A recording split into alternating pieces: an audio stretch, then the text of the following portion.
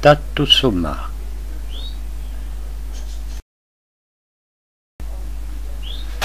La cornucervie Une Médoroidea femelle. Une Orphoète peruana femelle. Ici vous avez le mâle peruana en rouge et bien sûr la femelle. Une femelle hétérotérix.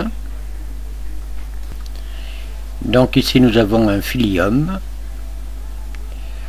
C'est joli. Un mâle cornucervi. Un Medoroidea.